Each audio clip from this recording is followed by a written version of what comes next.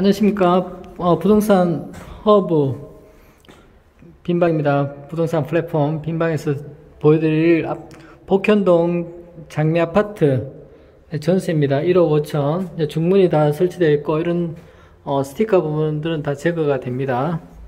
이렇게 보시면 이렇게 신혼부부가 살고 계셔가지고 아주 밝고 환한 느낌이 드는 곳이고 왼쪽 편에 보시면 이렇게 주방이 깔끔하게 준비가 되어 있습니다.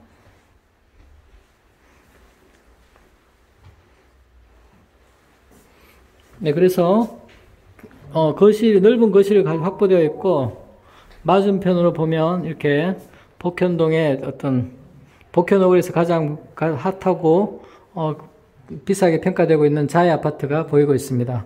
초, 중, 고등학교가 다 인접해 있고요.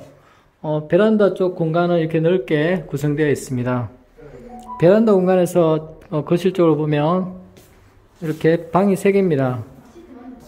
방이 한 개 있고 그 다음에 이렇게 욕실 쪽으로 또 방이 한 개가 있습니다. 방이 다 크고 사이즈가 크고 네 밝고 하는 느낌이 듭니다. 안방을 들어가 보시면 네, 이렇게 또 LED 등으로 다 구성되어 있고 샤시 또한 새롭게 되어 있습니다.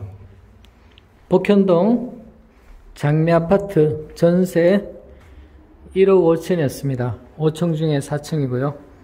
네, 빈방집 co.kr에서 또 부동산 플랫폼 빈방으로 빈방에서 장미 아파트 검색하시면 더 많은 매물들을 보실 수 있습니다. 감사합니다.